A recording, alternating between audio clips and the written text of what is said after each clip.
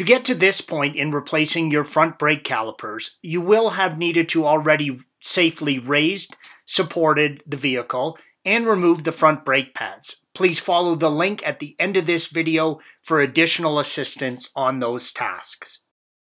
With the front brake pads removed, you will need to remove the brake wear sensor connection and cable from the caliper. Use a 10mm wrench and remove the single bolt from the connection as indicated by the red arrow. Follow the cable up and remove it from its holder on the shock, yellow arrow, and set the cable out of the way. Do not disconnect it further from the vehicle. If you are just moving the caliper to change the rotor, you do not need to do this step. Once you open the brake lines, you will need to completely bleed the system before you can drive the car again.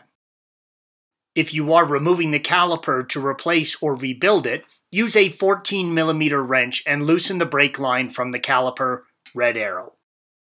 Do not try and remove the line from the caliper as it will twist too much. It is easier to finish removing the line after you remove the caliper from its mount and turn the caliper around the line.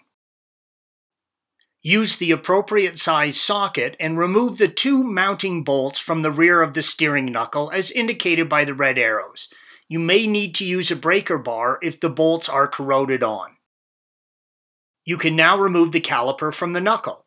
If you are removing it from the vehicle, it is easier to spin the caliper around the brake line to remove it, as the line will not get all twisted up. Red arrow. If you are not separating the caliper from the line, but needed to move it for other work, make sure you safely hang the caliper up out of the way. Red arrow. Never let the caliper hang from the brake line. You could do serious damage to the line and fitting. The four piston caliper can be rebuilt or replaced. The rebuild kits include new seals, O-rings, and boots. Note that the pistons are different sizes, red arrow. Installation is the reverse of removal. Do not attempt to drive the vehicle until you have completely bled the brake system.